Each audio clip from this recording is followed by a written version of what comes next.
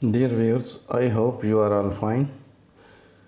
This ultrasound video shows a case of epigastric hernia. Incidentally, the patient was having an enlarged prostate, benign prostatic hypertrophy as well. Now you can see the scanning of the area between the umbilicus and the epigastrium.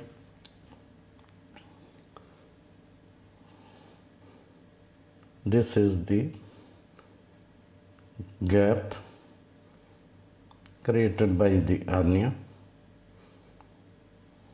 Typically, the epigastric hernia are usually small, but this gap shows that it is a large epigastric hernia. I will measure the gap for you.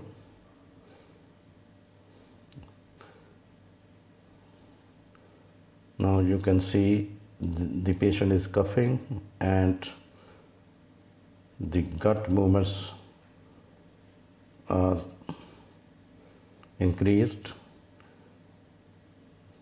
Again, the patient is coughing, you can see the gut movements protruding outwards, and when the patient stop coughing, the gut movements, the gut ascends below you can see the gut movements from this gap. Now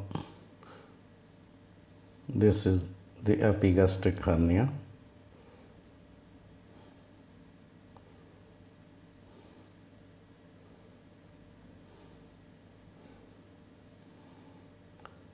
This is the gap and again you can see the movement of the guts upwards and downwards due to the coughing of coughing of the patient